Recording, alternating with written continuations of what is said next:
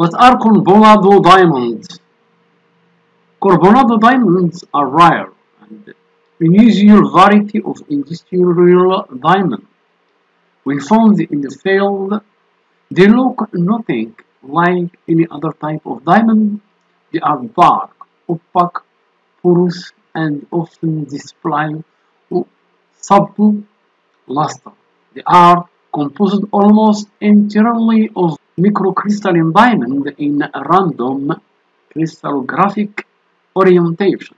They were first recognized as a type of diamond in 1841 by Portuguese prospectors in Brazil who called them Carbonado because they look like tiny pieces of charcoal.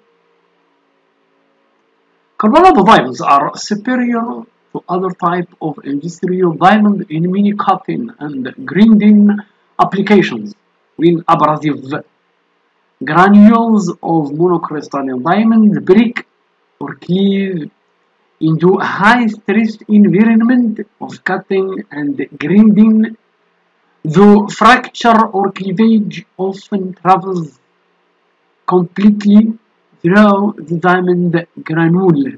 However, because granules of Carbonado are composed of a large number of interlocking microcrystals of diamond, many bricks and cleaves will stop at a crystal boundary instead of propagating completely through the granule.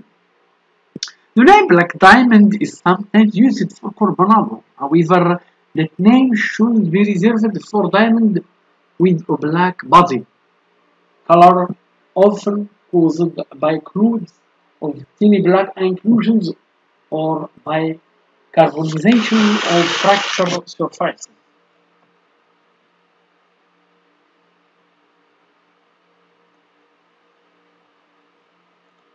Welcome to work with me and my team, the Rachid Hbachou team in Rough Diamond. Contact us by Facebook or email, Gmail or WhatsApp.